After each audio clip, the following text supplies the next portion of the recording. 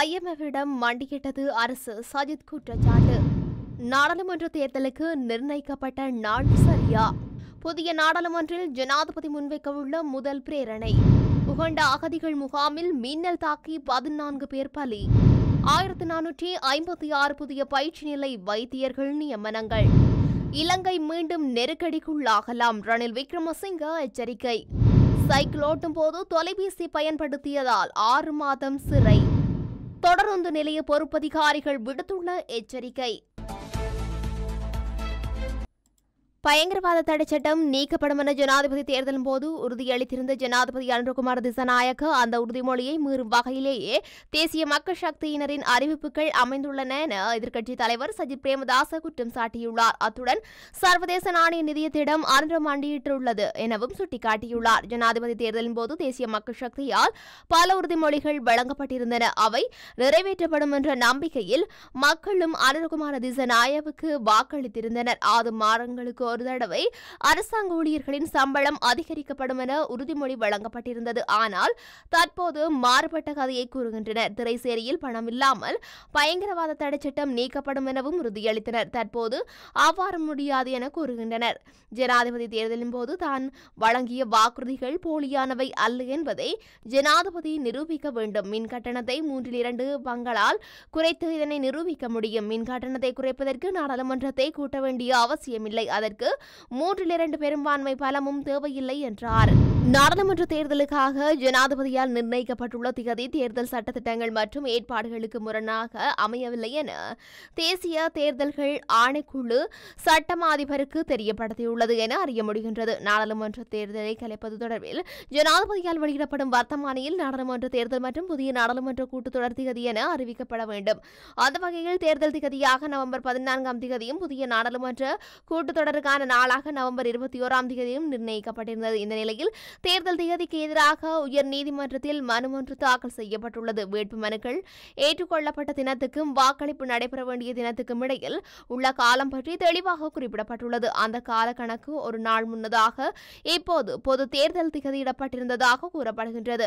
இந்நிலையிலேயே மேற்படி மனு தாக்கல் செய்யப்பட்டது. இந்த மனு மீதான பரிசீலனை இன்று உயர்நீதிமன்றத்தில் இடம்பெறவுள்ளது. இந்த மனுவில் பிரதிவாதிகளாக ஜனாதிபதியின் சார் சார்பில் சட்டமா அதிபர் ஜனாதிபதியின் செயலாளர் தேர்தல் ஆணைக்குழுவின் தலைவர் உட்பட அதன் அங்கத்தவர்கள் பெயரிடப்பட்டுள்ளனர். தேர்தல் ஆணைக்குழு சார்பில் சட்டமா அதிபர் தரப்பில் இது தொடர்பில் நீதிமன்றத்துக்கு விளக்கம் அளிக்கப்படும். இது தொடர்பில் தேர்தல் ஆணைக்குழுவால் சட்டமா அதிபருக்கு அனுப்பி வைக்கப்பட்டுள்ள விளக்க கடிதத்திலேயே தேர்தல் நிர்ணயிக்கப்பட்ட திகதி சரி எனவும் அதில் தவறில்லை எனவும் சுட்டிக்காட்டப்பட்டுள்ளது என சிங்கள வார இதழொன்று செய்தி வெளியிட்டுள்ளது. புதிய நாடாளுமன்றத்தின் முதல்வர அமர்வின் போது நிதி அமைச்சர் என்ற வகையில் ஜனாதிபதி அனுருகுமார் திசநாயக கணக்கு வாக்கு பணத்துக்குரிய யோசனையை முன்வைக்கவுள்ளார். இரண்டாயிரத்தி இருபத்தி ஐந்து ஏப்ரல் மாதம் வரையான அரசாங்க ஊழியர்களின் சம்பளம் உட்பட அரசாங்க பணிகளை தடையின்றி முன்னெடுப்பதற்குரிய ஏற்பாடாகவே கணக்கு வாக்கு பணம் முன்வைக்கப்படவுள்ளது. ஒப்புதல் அளிக்கப்பட்ட ஒதுக்கீட்டு சட்டம் இல்லாத சந்தர்ப்பத்தில் அரசாங்கத்தின் செயல்பாடுகளை முன்னெடுப்பதற்காக நிதி ஒதுக்கீடுகளை செய்வதற்காக நாடாளுமன்றத்தில் நிறைவேற்றப்படும் தீர்மானமே கணக்கு வாக்கு பணமாகும். அனுர் அரசாங்கத்தின் இரண்டாயிரத்தி இருபத்தி ஐந்தாம் ஆண்டுக்குரிய பாதையீடு பிப்ரவரி அல்லது மார்ச்சில் முன்வைக்கப்படவுள்ளமை குறிப்பிடத்தக்கது. வாக்கு பணத்துக்குரிய தீர்மானம் தற்போது தயாரிக்கப்பட்டு வருகின்றது எனவும் அமைச்சரவையில் சமர்ப்பிக்கப்பட்டு அனுமதி பெறப்பட்ட பின்னர் எதிர்வரும் இருபத்தி ஓராம் திகதிக்கு பின்னர் நாடாளுமன்றத்தில் முன்வைக்கப்படும். புதிய நாடாளுமன்ற கூட்டத்தொடர் எதிர்வரும் இருபத்தி ஓராம் திகதி ஆரம்பமாகி இருந்தது. உகண்டாவில் அகதிகள் முகாம் மீது மின்னல் தாக்கி பதினான்கு பேர் உயிரிழந்தனர். முப்பத்தி நான்கு பேர் காயமடைந்தனர். உகண்டாவின் லாம்பே மாவட்டத்தில் இடிமின்னலுடன் கூடிய பலத்த மழை தொடர்ந்து பெய்து வருகின்றது. இந்த நிலையில் அங்குள்ள அகதிகள் முகாமின் தற்காலிக கூடாரத்தின் பிரார்த்தனை கூட்டம் நடைபெற்ற போது மின்னல் தாக்கியது. இதில் பதினான்கு பேர் உயிரிழந்தனர். முப்பத்தி நான்கு பேர் காயமடைந்தனர். உயிரிழந்த அனைவரும் சிறார்கள் என்று உள்ளூர் அதிகாரி ஒருவர் கூறியதாக ஊடகம் தெரிவித்துள்ளது. அகதிகள் முகாமில் தெற்கு சூடானைச் சேர்ந்த அகதிகள் தங்கி வருவதும் குறிப்பிடத்தக்கது. ஆயிரத்து நானூற்றி ஐம்பத்தி ஆறு புதிய வைத்தியர்களுக்கு பயிற்சி நியமனங்கள் வழங்கப்பட்டுள்ளன. சுகாதார அமைச்சின் செயலாளர் பாலித்த மகவலி தலைமையிலான இந்த பயிற்சி திட்டம் இடம்பெறவுள்ளது. குறித்த பயிற்சி மருத்துவர்கள் அறுபத்தி இரண்டு வைத்தியசாலைகளில் நாளை பணிக்கு வரவுள்ளதாக சுகாதார அமைச்சின் மூன்றாம் நிலை பராமரிப்பு சேவை பணிப்பாளர் டாக்டர் பிரியந்த அத்பத்து தெரிவித்துள்ளார். அவர்களில் அரச பல்கலைக்கழகங்களில் உள்ளூர் மருத்துவ பீடங்கள் கொத்தலாவ பாதுகாப்பு பல்கலைக்கழக மருத்துவ பீடம் மற்றும் இலங்கை மருத்துவ பேரவை ஆகியவற்றின் பட்டதாரிகள் மற்றும் வெளிநாட்டு பட்டதாரிகளும் பரீட்சையில் சித்தியடைந்துள்ளனர். அனுபவம் வாய்ந்த நபர்களை நாடாளுமன்றத்திற்கு தெரிவு செய்ய வேண்டும் என முன்னாள் ஜனாதிபதி ரணில் விக்ரமசிங்க கோரிக்கை விடுத்துள்ளார். அனுபவம் வாய்ந்த தலைமைத்துவம் இல்லாத இலங்கை மீண்டும் நெருக்கடிக்கு ஆளாகும் அபாயம் இருப்பதாக அவர் எச்சரித்துள்ளார். தற்போதைய அரசாங்கத்தில் குறிப்பிடத்தக்க அனுபவம் உள்ள உறுப்பினர்கள் இல்லை. எதிர்கால குழப்பங்களை தடுப்பதற்கு அறிவுள்ள தலைவர்களின் அவசியத்தை வலியுறுத்தியுள்ளார். நான் முன்பு நாடாளுமன்றத்தில் இருந்தேன். இப்போது எங்கள் குழுவிலிருந்து ஒரு புதிய அணியை உருவாக்க வேண்டும் என்று நான் நம்புகின்றேன். இவர்களில் மட்டுமே தற்போது நாட்டில் அனுபவம் வாய்ந்த வாய்ந்தவர்கள் தனது குழு மூன்று அல்லது நான்கு வருடங்கள். சேவையாற்றியதாகவும் பொருளாதார நெருக்கடியில் இருந்து நாட்டை மீட்பதில் முக்கிய பங்கு வகித்ததாகவும் குறிப்பிட்ட அவர் புதிய நாடாளுமன்றத்தில் மூத்த உறுப்பினர்கள் இல்லாது ஆபத்தை ஏற்படுத்தலாம் என்று குறிப்பிட்டுள்ளார். எவ்வாறாயினும் அனுபவம் வாய்ந்த தலைமைத்துவம் இல்லாமல் ஸ்திரத்தன்மைக்கு அச்சுறுத்தல் ஏற்படலாம் என ரணில் விக்ரமசிங்க மேலும் எச்சரித்துள்ளார்.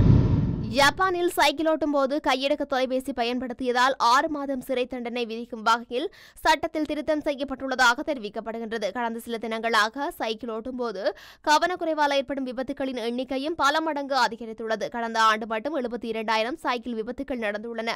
இது நாடு முழுவதும் ஏற்படும். மற்ற வாகன விபத்துகளில் இருபது சதவீதமாகும் சைக்கிள் விபத்துகளை கட்டுப்படுத்த அரசு பல்வேறு நடவடிக்கை எடுத்து வருகின்றது. விபத்துக்கான காரணம் குறித்து அரசு ஆலோசனை நடத்தியது. சைக்கிள் ஓட்டும்போது பெரும்பான்மையினர் கையடக்க தொலைபேசி பயன்படுத்துவதே விபத்துக்கு முக்கியமான காரணம் என தெரிய வந்துள்ளது. இதனால் போக்குவரத்து வீதிகளில் புதிய திருத்தங்களை அறிமுகம் செய்யப்பட்டுள்ளது. அதன்படி சைக்கிள் ஓட்டும்போது கையடக்க தொலைபேசி பேசவோ இணையத்தை பயன்படுத்தவோ கூடாது. இதனை மீறுபவர்களுக்கு ஆறு மாதம் சிறை தண்டனை அல்லது சுமார் ஐம்பதாயிரம் ரூபாய் வரை அபராதம் விதிக்கப்படும். மது போதையில் சைக்கிள் ஓட்டினாலும் மூன்று ஆண்டுகள் சிறை தண்டனை அல்லது சுமார் இரண்டு லட்சத்துக்கு மேல் அபராதம் விதிக்கப்படும் என்று போக்குவரத்து விதிமுறைகளில் திருத்தம் கொண்டு வரப்பட்டுள்ளது.